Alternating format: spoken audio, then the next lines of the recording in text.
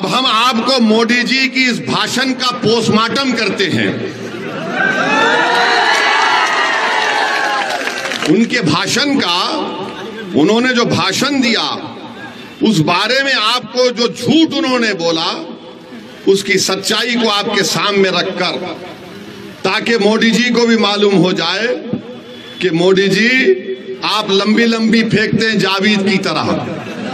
मगर हम आपको सच्चाई बया बता देते हैं। और सच्चाई यह है मेरे भाई, कि भारत में भारत में मुस्लिम हमारी माँ और बहनों का जो फर्टिलिटी रेट है, वो 2.36 है।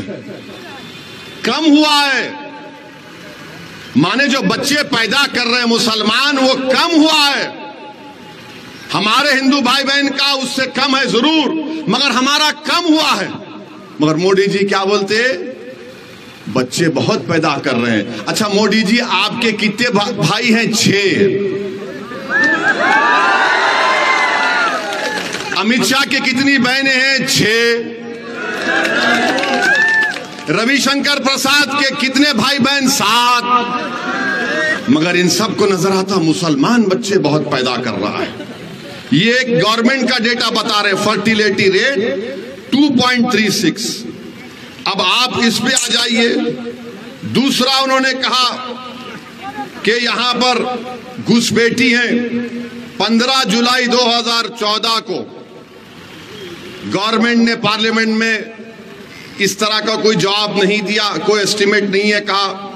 25 नवंबर 2014 को गवर्नमेंट ने कहा कि कोई डेटा नहीं है, नंबर नहीं है। 6 दिसंबर 2016 को गवर्नमेंट ने कहा कोई कंफर्म डेटा नहीं है बांग्लादेश से जो लोग आ रहे हैं। 22 दिसंबर 2015 को लोकसभा में गवर्नमेंट ने कहा हमारे पास कुछ रिकॉर्ड नहीं है। 21 मार्च 2017 को मोदी सरकार ने कहा कि डेटा अवेलेबल नहीं है। 11 अप्रैल 2017 को गवर्नमेंट ने कहा कि डेटा नहीं है कि बांग्लादेश से कितने आ रहे। एक अगस्त 2017 को गवर्नमेंट ने वही जवाब दिया। 20 मार्च 2018 को वही जवाब दिया। 2 जुलाई 2019 को वही जवाब दिया। 3 मार्च 2020 को मोदी सरकार ने वही जवाब दिया। कि हमारे पास डेटा नहीं है, नंबर नहीं है। तो मोदी जी, आप किस बुनियाद पर घुसपैठी कह दी हमको बताओ? अब मोदी जी का जवाब सुनो आप। अब हम उनको जवाब दे रहे हैं।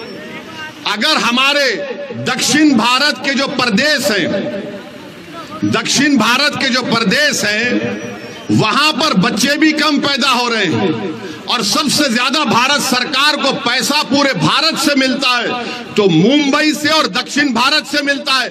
मोदी जी, आप देश को तोड़ने का काम कर रहे हैं। आप देश को कमज़ोर करने का काम कर रहे हैं। अगर दक्षिण भारत के लोग बोलना शुरू कर दें कि हमारे पास पार्लियामेंट की सीट कम है, हम बच्चे भी कम पैदा कर रहे हैं, पैसे भी ज़्यादा दे रहे हैं तो तुम क्या जवाब दोगे भारत के प्रधानमंत्री? बताओ हमको। बताओ क्या जवाब दोगे आप? मेरे अज़ीज़ दोस्तों और बुज़ुर्गों, ये नरेंद्र मोदी भारत को कमज़ोर करने का काम कर रहे हैं। और अगर और भी आपको डेटा चाहिए अच्छा ये बोलते। हाँ एक और बात जो हम आपको बता रहे हैं। मुसलमानों का गरीबी में कितना हमारा तनासुब है। कितने गरीब है मुसलमान। इसके बारे में आपको हम आज बता के जाएँगे। जो मुसलमान गाँव में रहता है, जो मुसलमान, मोदी जी, सुनो, अगर कान में सुनने की ताकत है तो सुनो देश के प्रधानमंत्री। ए भाई, रुक जाइए ना। मुसलमान जो गाँव में रहता है, जो वो अपने पैसे खर्चता है खाने पीने के लिए, सबसे कम खर्चने वाला अगर कोई है तो मुसलमान है। सबसे ज़्यादा सिख है, जो महाना उसके खर्चा दो हज़ार एक सौ छह रुपये, हमारे एक हज़ार एक सौ सत्तर रुपये, और मुसलमान सिर्फ़ ग्यारह सौ तैतीस रुपये खर्चता है। ये मोदी की सरकार का डेटा है। कितना झूठ बोलोगे मोदी जी तुम? कितना झूठ बोलोगे? मगर मोदी जी को किन मुसलमानों से मोहब्बत है मालूम आपको? कौन से मुसलमान से मोहब्बत है मोदी जी को? दुबई जाएँगे? सऊदी अरब जाएँगे?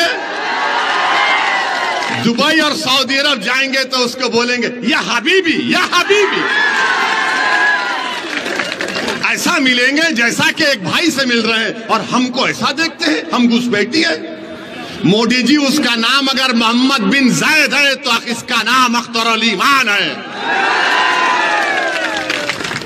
दुबई के मुसलमान से मोहब्बत, सऊदी के मुसलमान से मोहब्बत, और सीमांचल के बेटे अख्तर ईमान से नफरत क्यों, मोदी जी, बताओ?